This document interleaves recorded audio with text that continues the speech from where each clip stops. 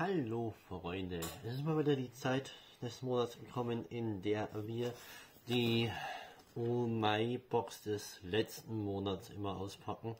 Das ist die für Februar, ich weiß, ich hänge immer einen Monat hinten nach, die für März ist eigentlich auch schon unten, aber ah, ich haushalte da immer ein bisschen. Das heißt, ich möchte jetzt eigentlich nicht zwei Boxen wirklich nah hintereinander öffnen und von daher mal schauen, wann ich wann ich das aufhole, dass ich mal nicht mehr hinterher hänge. Aber ja, heute kümmern wir uns auf jeden Fall um die Umai-Box des Monats ähm, Februar. Und bin schon gespannt, was drinnen ist. Ich kann mich erinnern, ich habe eine Sache gesehen, die wurde gespoilert. Ich hasse ja Spoiler immer, aber naja. Ich bin bloß nicht mehr sicher, ob das gespoilert wurde für Februar oder ob das für März gespoilert wurde. Ich weiß es nicht. Mal gucken. So, was haben wir? Wir haben hier unseren 1000 Yen Gutschein. Habe ich auch schon keine Ahnung, wie viel davon. Äh, mal schauen, wann ich das nächste Mal was bestelle. Und hier haben wir unsere Beschreibung, die wir uns nachher anschauen werden. Ihr, kennt das Prinzip. Das Zeug liegt links neben mir und ich hole halt Stück für Stück raus und beginne meistens mit dem kleinen, so, weil, so weit das geht. So, ist das der Umay-Stick? Nein, das ist kein Umay-Stick, das ist ein Puffreis-Stick. Bar. Okay. Ich weiß nicht, Puffreis ist jetzt was, wo ich sage, okay. Ich bin gespannt, ob er süß ist oder ob er äh, eher herzhaft ist. Ich hoffe, er ist süß, aber mal schauen. So, hier haben wir auch noch was Kleines. Das ist ein Keks, oder? Das ist, ich vermute mal, das Jahr starten. Ja, okay. Ich weiß nicht. Anfühlen tut sich wie ein Keks. Sehr niedliche Verpackung. Mal schauen, was nachher unsere Beschreibung dazu sagt. So. Dann Stick. Bist du, Oma Stick? Ah, ich erwische ihn jetzt nicht. Dann würde ich sagen, holen wir erstmal das raus. Das ist, das fühlt sich bröselig an. Okay, das habe ich mir fast gedacht. Das ist, glaube ich, sowas, das macht man über, über das Rahmen drüber. Also, ich sage mal so kleine knusprige Teigteilchen hatten wir auch schon öfter mal in Nudelform drinnen. Ähm, ja. Mal schauen, wie gesagt, was die Beschreibung dazu sagt. Was haben wir hier? Oh, die hatte ich vor Ewigkeiten mal drinnen. Die waren gut. Das ist prinzipiell, ähm, ja, das sind so, Gott, ist das peinlich aus, aus Kindercountry, diese Cerealien. Oh Mist, was, was sind das für welche? Peinlich, ich weiß. Ich kenne mich nicht mal mit dem simpelsten Getreide aus. Aber die hier haben Cappuccino-Geschmack und die sind, also ich kann mich erinnern, die waren wirklich gut. Da freue ich mich, dass die drinnen sind. Bisher äh, mein Lieblingsprodukt von den vielen.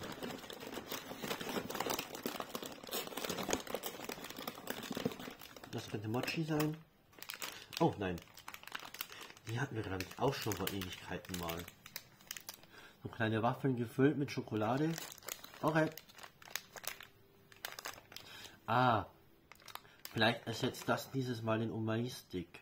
Weil das ist ja von der, das ist von der gleichen Marke. Okay. Sagen wir mal so, ist mir ganz recht. Bin ich jetzt auch nicht traurig, wenn kein Umai Stick drinnen ist dieses Mal. So, was haben wir hier? Gummibärchen. Oh nein, wir haben vom Pokémon ein Schokoskelett. Das kann ich jetzt nicht, nicht erkennen. Äh, da gibt es mehrere.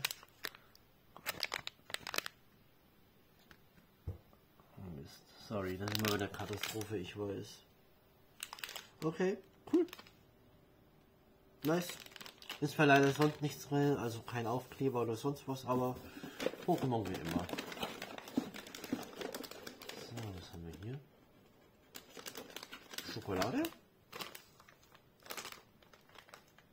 Ah, nein, irgendwie. Blue Seal Tablet. Ich vermute mal sehr stark. Nee. Hä? Ich hätte jetzt spontan gesagt, das sind irgendwelche Pfefferminz oder was. Aber da frage ich mich, warum da vorne eine Kugel Eis drauf ist. Das ist, glaube ich, bisher das Spannendste. Ja, da bin ich gespannt, was die Beschreibung nachher sagt. So, schauen wir mal, wie viel wir noch drinnen haben. Wir haben noch eine Sache, zwei Sachen, drei Sachen, drei Sachen, vier Sachen. Wenn ich mich nicht verzählt habe. Unter anderem Gummibärchen? Nein, Milky Pistachio Flavor. Okay, ich vermute mal, das wird Schokolade sein mit Pistaziengeschmack. Okay. Das gefällt mir auch gut. So. Oh, da haben wir glaube ich noch irgendwas unten drinnen. Aber interessant ist, ich spüre dieses Mal keine Dose. Also kein Getränk. Hm. Vielleicht ist wieder Tee drin. Was haben wir hier? Ah. KitKat Sachertorte. Okay. Ähm, freue ich mich. Die hatte ich auch schon mal. Die gibt es bei uns im Asialaden. Die sind wirklich lecker. Also da äh, freue ich mich drüber. Ähm, auch wenn ich sie schon kenne. Aber nice. Daumen hoch. So, das könnten Chips sein.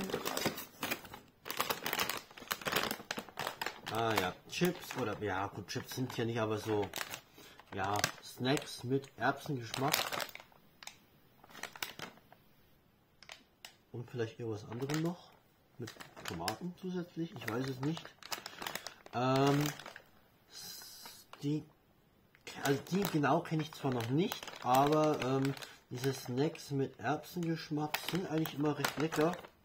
Von daher nehme ich die auch sehr, sehr gerne. So, jetzt haben wir noch eins, zwei, jetzt haben wir noch drei Sachen. Da hatten wir vorhin eins übersehen. Das Gummibärchen? Nein, immer noch keine Gummibärchen. Das ist, oh Gott. Das ist irgendwas mit, ich fürchte mal Süßkartoffeln mit blauen oder lila, lila Süßkartoffeln. Okay, wird auf jeden Fall spannend zum Ausprobieren. So. Ich bin trotzdem geschockt, dass dieses Mal. Ah, was hat sich hier noch versteckt? Hier hat sich noch was versteckt. Oh, so ein kleiner, kleiner Fisch. Ich vergesse immer, wie die, wie die heißen. Aber und dann haben wir noch Nudeln. Nudeln hatten wir auch schon länger nicht mehr drinnen. Okay. Nudeln und last but not least. Ah, okay. Wir haben dieses Mal keine Dose drinnen, sondern Café Latourie. Ähm, das ist prinzipiell Kaffeepulver mit Matcha-Geschmack. Okay. Cool. Ja, verstehe ich. Ich meine, ähm, wie man sehen kann, das Ganze ist immer noch winterbezogen. Ähm, da glaube ich, ist so was Wärmendes ganz gut. Ich weiß gar nicht, was hatten wir beim letzten Mal drinnen? Beim letzten Mal hatten wir auch Tee drinnen. Ja. Also, gut, ja. Ja stört mich jetzt persönlich nicht. So. Dann gucken wir mal, was denn alles Spannendes drinnen steht in unserem Heftchen. Mm, bla bla bla bla. So, ich halte euch das jetzt mal hin. Ich hoffe, ich vergesse nachher nicht das Video zu spiegeln, weil ansonsten wird es jetzt wahrscheinlich schwierig für euch zum Lesen. So, dann Matcha Aguki Latte. Matcha latte is becoming more and more popular around the world. In your box this month, discover a more original version with added Atsuki, in Klammern red beans.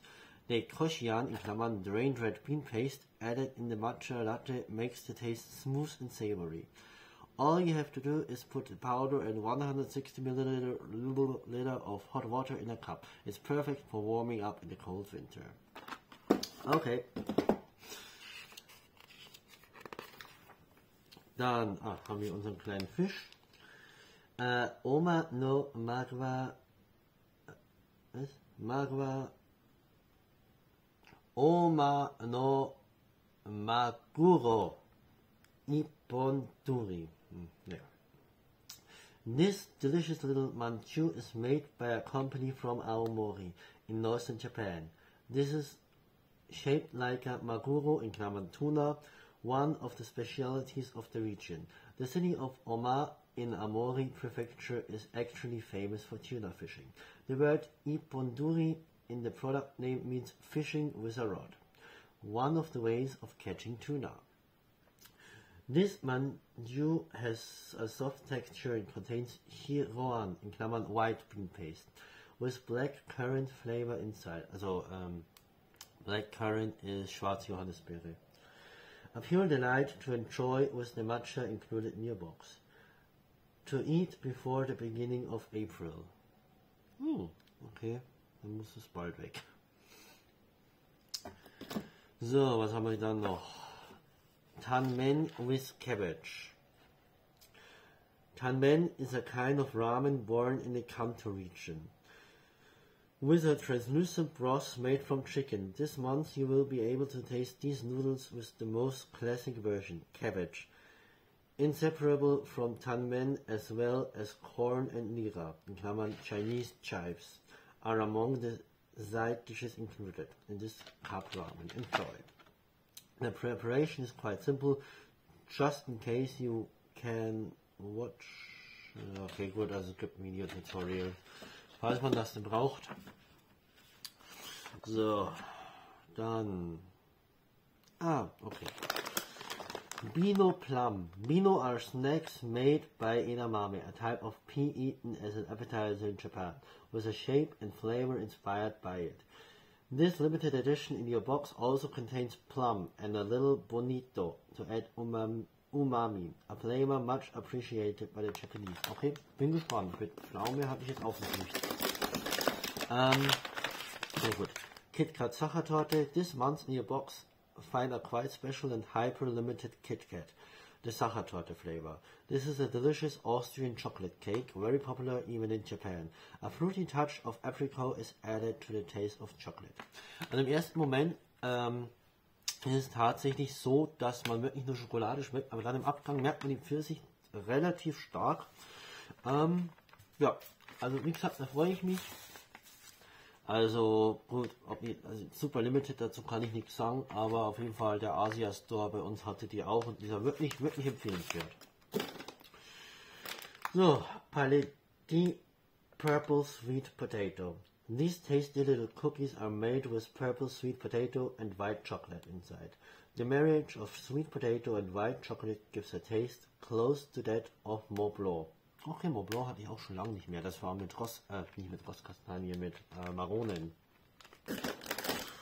So, dann Muripon Milk Coffee. Here is a coffee or law flavored puffed wheat snack.